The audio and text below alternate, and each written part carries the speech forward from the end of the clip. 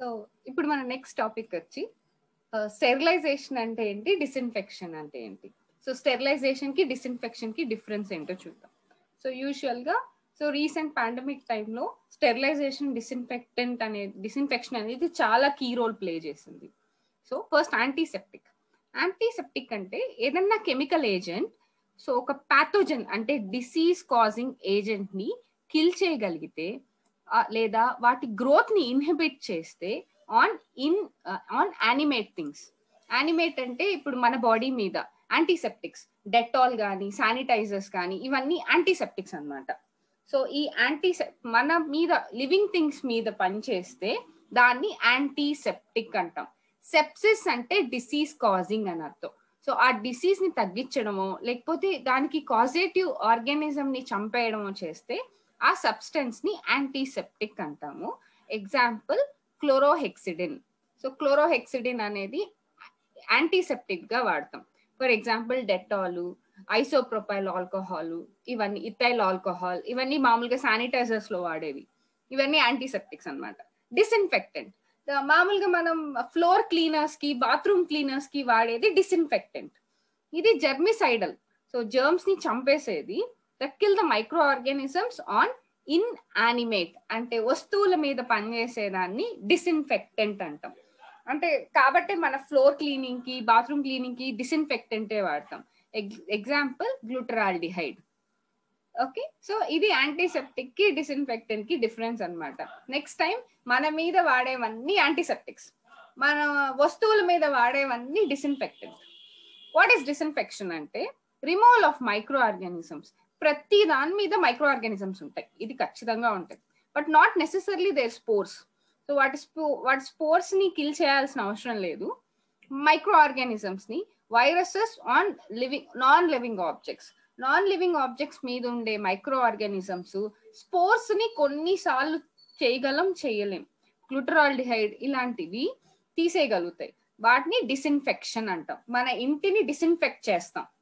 మన మన మీద యాంటీసెప్టిక్ సొల్యూషన్ వాడుకుంటాం. సో స్టెరిలైజేషన్ స్టెరిలైజేషన్ అంటే కంప్లీట్ ఎలిమినేషన్ ఈవెన్ వాటి స్పోర్స్ కూడా మిగలకూడదు మనకి.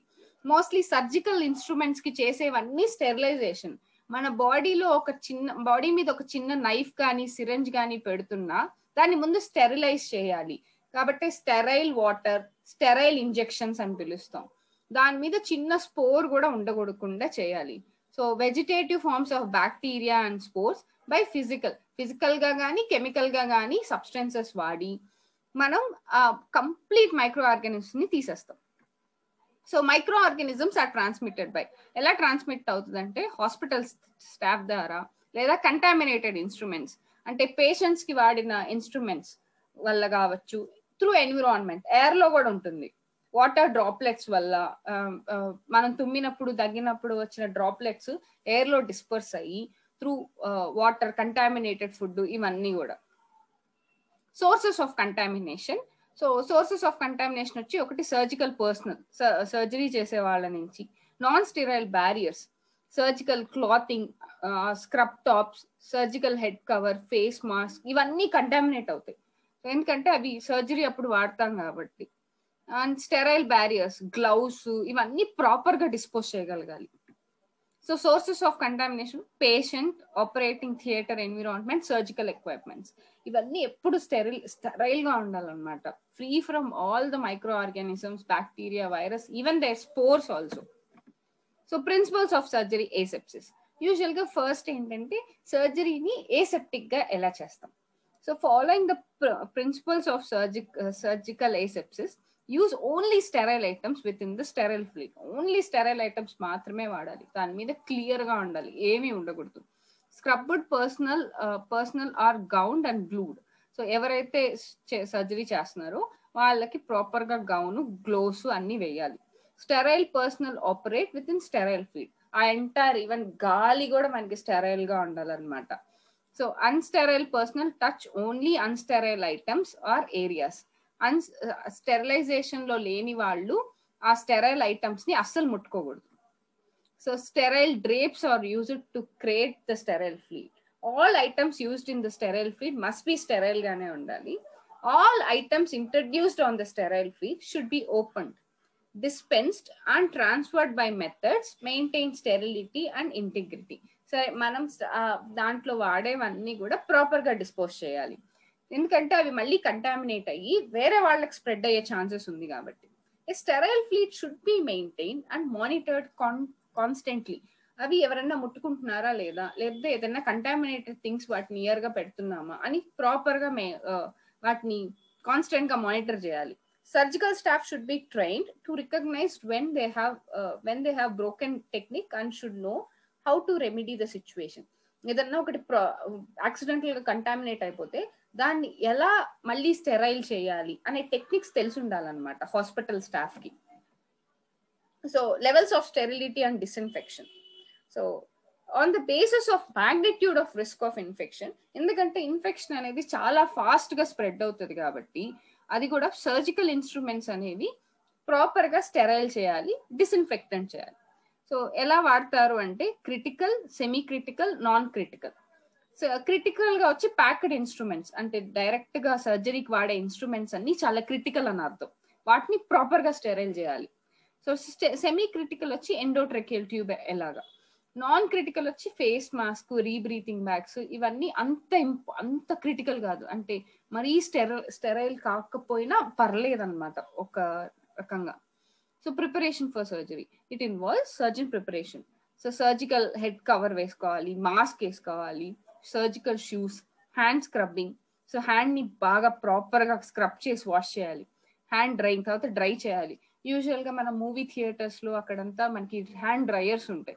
ఆ డ్రయర్స్ ఎందుకు వాడతారంటే అది కూడా హాట్ ఎయిర్ వస్తుంది. అదే విచ్ ఇస్ ఫిజికల్ మెథడ్లో స్టెరైల్ చేయడం అనమాట అది. మన చేతి మీద ఏదన్నా బ్యాక్టీరియా ఉంటే అది పోయే పోవడానికి అలా హ్యాండ్ డ్రయింగ్ మిషన్స్ పెడతారు. Gowning gloving patient preparation so hair remove చేసేయాలి skin preparation skin draping patient draping so యూజువల్గా వాడే స్క్రబ్ సొల్యూషన్ స్క్రబ్ అంటే మన హ్యాండ్ని బాగా ఏసెప్టిక్ చేసే సొల్యూషన్స్ ఏంటి అంటే chlorhexidine so chlorhexidine excellent spectrum occasionally sensitive to mucous membrane mucous membrane మీద కొన్నిసార్లు సెన్సిటివ్గా కొన్నిసార్లు రియాక్షన్ ఇవ్వచ్చు పోవిడాన్ అయోడిన్ జనరల్గా ఏదైనా దెబ్బ తగిలినా ఇన్ఫెక్షన్ వచ్చినా గానీ ఆన్ అయోడిన్ అనేది జనరల్గా వాడతారు. సో స్కిన్ సెన్సిటివ్ అకేషనల్గా స్కిన్ సెన్సిటివ్ ఉంటుంది. సో ఇది ఇలా మనం ఏదైనా సరే స్టెరిలి స్టెరిలైజేషన్ కోసం ఇలా వ్రాప్ చేయాలన్నమాట. ఇన్స్ట్రుమెంట్స్ అన్నిటిని ఇలా వ్రాప్ చేసి వాటిని స్టెరైల్ చేయాలి. సో ఇలా ఫోల్డింగ్ మెథడ్స్ అంటే సర్జికల్ గౌన్స్ని కానీ అవన్నీ ఇలా ఫోల్డింగ్ మెథడ్స్ తర్వాత అన్వ్రాపింగ్ ఎలా చేయాలని. ఎందుకంటే మనం అన్స్టెరిలైజ్డ్ హ్యాండ్స్ తోటి ముట్టుకోకూడదు వాటిని ఎప్పుడు. వాటిని ప్రాపర్గా అన్ అన్వ్రాప్ చేయాలి. మళ్ళీ ముట్టుకుంటే మళ్ళీ అవి కంటామినేట్ అయ్యే ఛాన్స్ ఉంటుంది కాబట్టి. హ్యాండ్ స్క్రబ్బింగ్ హ్యాండ్ స్క్రబ్బింగ్ ఎలా చేయాలి? పామ్ టు పాము తర్వాత ఫింగర్స్ మధ్యలో నుంచి తర్వాత మనం మన హ్యాండ్ లోపల ఈ తంబు ప్రతి కార్నర్ ఆఫ్ ద హ్యాండ్ని మనం క్లీన్ చేయాలి స్టెరైల్ చేయాలి. సో గ్లోవ్స్ ఎలా వేసుకోవాలి? ఫస్ట్ ఒక గ్లో వేసుకొని ఫస్ట్ ఒక హ్యాండ్ గ్లో వేసుకొని తర్వాత ఆ గ్లో హ్యాండ్తో ఇంకొక హ్యాండ్ గ్లో వేసుకోవాలి. So sterilisation and disinfection so A process వల్ల ఏ ప్రాసెస్తో మనం స్టెరై స్టెరిలైజేషన్ చేస్తాం? డిస్ఇన్ఫెక్షన్ చేస్తాం. సో స్టెరిలైజేషన్ అంటే లివింగ్ థింగ్స్ మీద జరిగేది. డిస్ఇన్ఫెక్షన్ అంటే నాన్ లివింగ్ థింగ్స్కి చేసేది.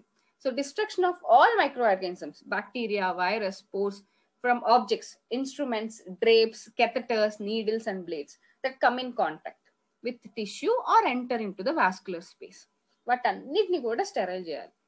సో డిస్ఇన్ఫెక్షన్స్ సో వాటన్నిటి కూడా disinfection so disinfection process of destroying the microorganisms except the virus and spores found in inanimate objects so మనకి ఇన్ యానిమేట్ ఆబ్జెక్ట్స్ మీద వాటిని క్లియర్ చేసేయాలి. Methods of sterilisation physical sterilisation chemical sterilisation gas sterilisation and irradiation first physical method physical method వచ్చి dry heat లేదా moist heat వాడి చేస్తామన్నమాట.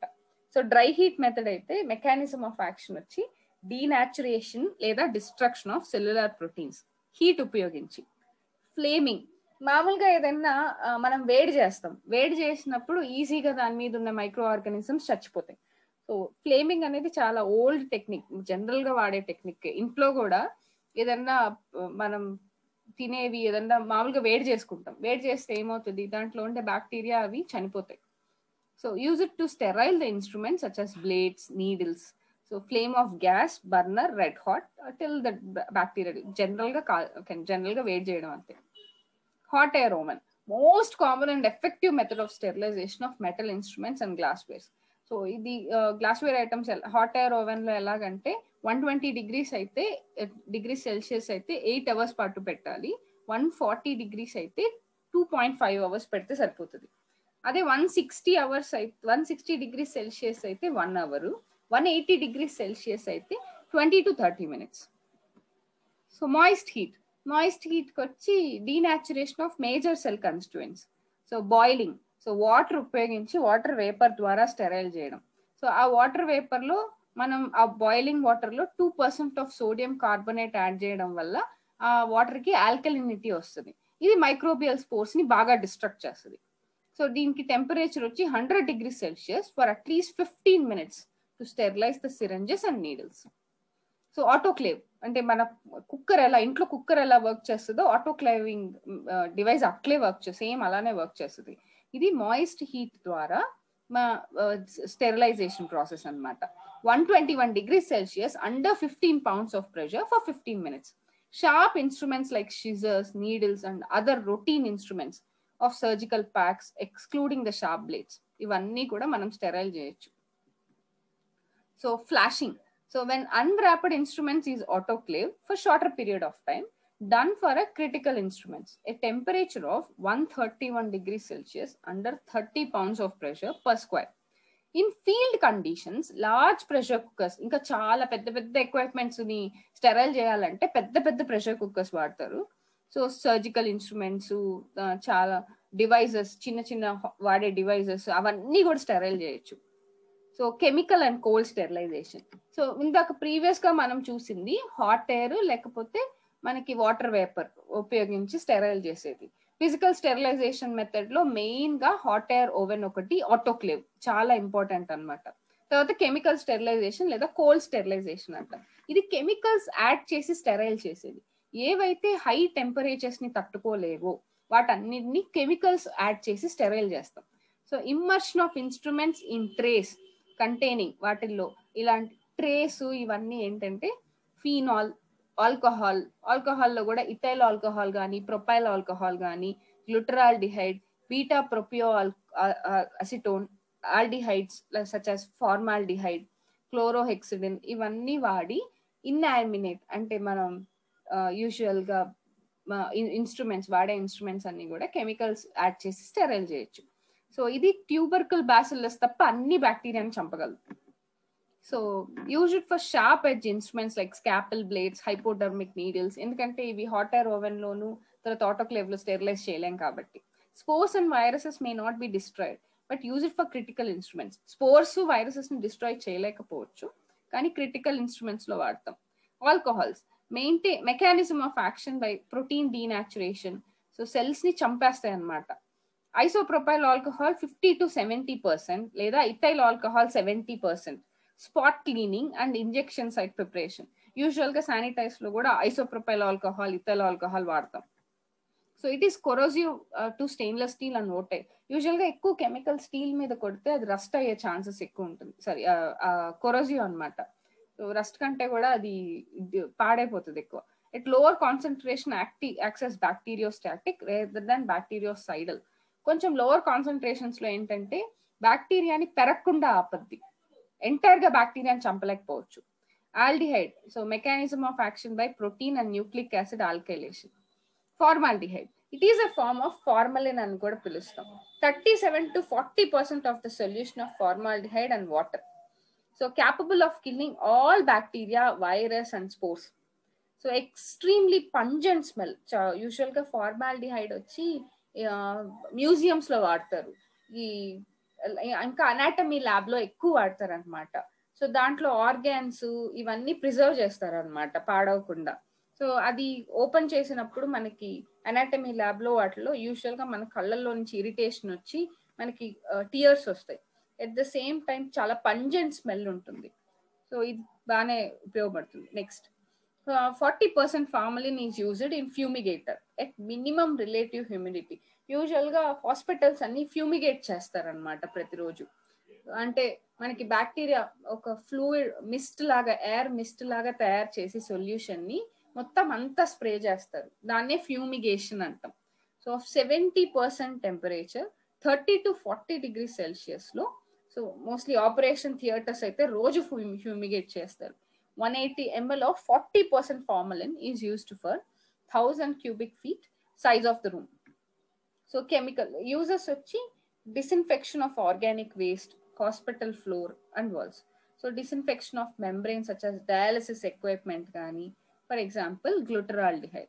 2% of the glutaraldehyde is used for disinfection of lens, dental equipments, so delicate instrument, inka anesthetic accessories and matter. కొన్నిసార్లు skin మీద mucous membrane మీద irritation cause చేస్తుంది. So well rinsed before use so chlorhexidine so ఇది కూడా antiseptic ఏజెంటే ఇది detergents లోను tincture aqueous ఫార్ములాస్లో బాగా అవైలబుల్లో ఉంటుంది. Zero point seven five to one percent solution used for scrubbing so హ్యాండ్ని వాష్ చేసుకోవడానికి. Widely used for the preparation of surgical patients and surgical hand scrubs so during non irritation property of the skin. So చాలా తక్కువ వాడతారు scrubbing hand స్క్రబ్స్గా. Effective against gram negative and gram positive bacteria so ఎక్కువగా వాడితే effectiveness బాగానే ఉంటుంది. So తర్వాత quaternary ammonium compounds ఇది యూజువల్గా ఫ్యూమిగేషన్లో అమోనియం కాంపౌండ్స్ ఎక్కువ వాడతారు. ఒక ఫార్టీ ఫైవ్ మినిట్స్ పాటు ఫ్యూమిగేట్ చేసి పెట్టేస్తే మనకి డిస్ఇన్ఫెక్టెంట్ అయిపోతుంది. సో మైక్రోజన్ ఎక్కువ కమర్షియల్గా వాడతారు. It is bactericidal and virucidal and fungicidal disinfected fifteen ML of concentrated Microgen so one twenty five mixed in one litre of water so ఇది ఆపరేషన్ థియేటర్కి డిస్ఇన్ఫెక్టెంట్గా ఇంకా ఐసీయూ పెథాలజీ ల్యాబొరేటరీ ఇవన్నీ కూడా. అయోడిన్ కాంపౌండ్స్ సో యూజువల్గా మనకి తెలుసు povidone iodine povidone iodine ఎక్కడైనా ఊండ్ డిస్ఇన్ఫెక్టెంట్ చేయాలంటే పోయిడోన్ అయోడిన్ వాడతాం. సో బిటాడిన్ దీని commercial name so Betadine and bactericidal virucidal fungicidal but poor sporicidal activity used for cleaning wounds, scrubbing of hands. Iodophores used as scrub solutions for cleaning dark colored floors and countertops. So chemical chlorine compounds యూజువల్గా మన వాటర్ని కూడా chlorine treatment ఇస్తారు. ఎందుకంటే దాంట్లో essential bacteria వెళ్తుంది వెళ్ళిపోతుంది అని చెప్పి. So hypochlorite Two point five percent of sodium hypochlorite solution is use for cleaning floors and counter tops so in inactivated by organic debris and corrosive to metal. So phenol and derivative. Phenol, 2% solution used for disinfection. So cell membranes ని ఆ cellular proteins ని precipitate చేసేస్తుంది bactericidal but do not affect viruses and spores Commonly used for cold sterilant in combination with detergents or soaps to increase the spectrum so next cresol Lysol chloroxylenol ఇవన్నీ కూడా మనకి మామూలుగా antiseptic క్లై క్రైజాల్ అయితే intestinal యాంటీసెప్టిక్గా వాడతారు. అది కూడా zero point five to one percentage Lysol used for disinfection యూజువల్గా Lysol మన ఇంట్లో కూడా వాడతాం. సో నాన్ లివింగ్ థింగ్స్కి లైజాల్ వాడతారు. క్రైజాల్ వచ్చి మన ఇంటెస్టైన్కి వాడతారు. Floors bathrooms wash basins organic waste such as fe faeces urine etcetera chloroxylenol వచ్చి అదే డెటాల్ మనం వాడే డెటాల్ క్లోరాక్సిలెనాల్ ఉంటుంది. Two percent solution of Dettol used as antiseptic for intact skin. So gas sterilisation. Ethylene oxide గ్యాస్ని spray చేయడం వల్ల మనకి sorry డిస్ఇన్ఫెక్టెంట్గా వాడుకోవచ్చు. So kill micro organisms by altering their normal cellular metabolism and replication through alkylation of protein ribonucleic acid and DNA RNA DNA moisture and heat sensitive ఎక్విప్మెంట్స్ని gas sterilisation ద్వారా ఏవైతే ఎక్కువ హీట్ని తట్టుకోలేవో సో వాటన్నిటికీ గ్యాస్ స్టెరిలైజేషన్ వాడతారు. So the effectiveness of ethylene oxide gas ఆ sterilising agent depends on gas కాన్సన్ట్రేషన్ని బట్టి టెంపరేచర్ని బట్టి ఎక్స్పోజర్ టైము హ్యూమిడిటీ వీటన్నిటిని బట్టి గ్యాస్ స్టెరిలైజేషన్ ఎఫెక్టివ్నెస్ డిపెండ్ అయి ఉంటుంది. Gas concentration four fifty to thousand five hundred milligrams per litre ఉండాలి. Temperature twenty one to sixty degree Celsius ఉండాలి. ఫార్టీ ఎయిట్ మినిట్స్ వరకు ఫార్టీ ఎయిట్ మినిట్స్ నుంచి several hours expose అయి ఉండాలి. Humidity forty percent ఉండాలి. So ఎందుకంటే lethal action కోసం. So gas sterilisation దేనికి వాడతారంటే endoscopic ఇన్స్ట్రుమెంట్స్కి gloves catheters item sealed in plastic etcetera next irradiation so radiation కూడా స్టెరిలైజేషన్కి వాడతాం. రేడియేషన్ వచ్చి రెండు రకాలు యూజువల్గా. Ionising and non ionising so ionising అంటే uh, ఐనైజింగ్కి నాన్ ఐనైజింగ్కి డిఫరెన్స్ ఏంటంటే ఐనైజింగ్లో షార్టర్ వేవ్ లెంత్ ఉంటుంది ఫ్రీక్వెన్సీ ఎక్కువ ఉంటుంది. సో అదే ఐనైజింగ్ నాన్ ఐనైజింగ్ అంటే వేవ్ లెంత్ ఎక్కువ ఉంటుంది ఫ్రీక్వెన్సీ తక్కువ ఉంటుంది. సో యాక్చువల్గా ఐనైజింగ్ రేడియేషన్ చాలా ప్రమాదకరం క్యాన్సర్ కాజింగ్ అనమాట సో వాటి ఎగ్జాంపుల్స్ వచ్చి గామా రేస్ ఎక్స్ రేస్ ఇవన్నీ కూడా మనకి alpha beta alpha alpha radiation beta radiation X rays gamma rays ఇవన్నీ కూడా. సో ఇవి మైక్రో ఆర్గనిజం డిస్ట్రాయ్ చేస్తాయి కానీ మన మీద ఎక్స్పోజ్ అవ్వకుండా చూసుకోవాలి. Gamma rays are shorter wave length with shorter wave length penetration చాలా డీపర్గా ఉంటుంది. కాబట్టి స్వాప్స్ సర్జికల్ బ్లేడ్స్ కెథటర్స్ సిరంజెస్కి వాడతారు. గౌన్స్ డ్రేప్స్ టేబుల్ కవర్స్కి. సో నాన్ ఐనైజింగ్ రేడియేషన్ అంటే వీటి లేవ్ లెంత్ ఎక్కువ ఉంటుంది ఫ్రీక్వెన్సీ తక్కువ ఉంటుంది. Example UV rays three hundred to four hundred nanometres wavelength so